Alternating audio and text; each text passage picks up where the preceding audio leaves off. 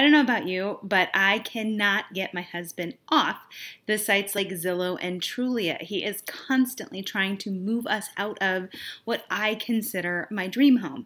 But his incessant obsession with coming up with a new builder or house plans or any of that kind of stuff got my brain thinking. And this is what it came up with custom home plans for our online businesses. And what I mean by that is most of us the template, the one size fits all, even if there's 27 templates that we buy, it never quite fits and it's not quite right. So it got me thinking what if there were unique characteristics of certain online custom dream homes, meaning the process, the experience for both ourselves and our customers, that would make sense. So, this is where the idea came from. So, if I'm on, this happens to be one of the builders in our area, and here, if I look at custom floor plans, then here, see how they all have different names? So the Albany is three bedrooms, two baths. The Aspen is four bedrooms, two baths. And this is exactly what the custom plans that I create do. So if we open up, we can look at the plan, and the plan shows us let's get a picture of it, where things are. Like, here's the garage, here's the living room, here's the dining room.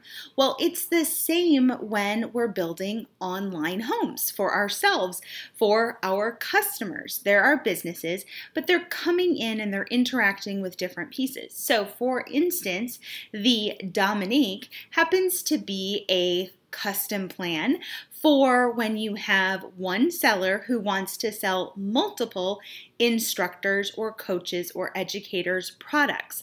The Luann is the floor plan for when you want to eventually have an evergreen or on demand offering, and you're starting with a paid workshop. The Brenda happens to be when you want to license your content to a individual buyer, but they need multiple accounts. So, this is the idea behind the custom home plan series for your online online business. And I really hope that you enjoy them. The cool thing is, you can look at the defining characteristics, and then, just like with these home plans, you can say, Yeah, that's perfect, but I need to move a door. Or I'd like the stairs over here. Or could we flip flop the living room and the kitchen? Absolutely. And we do that with different pieces. So, for instance, the Beachbody piece that applies in the Dominique because you have one host selling multiple pieces of content that they didn't necessarily create.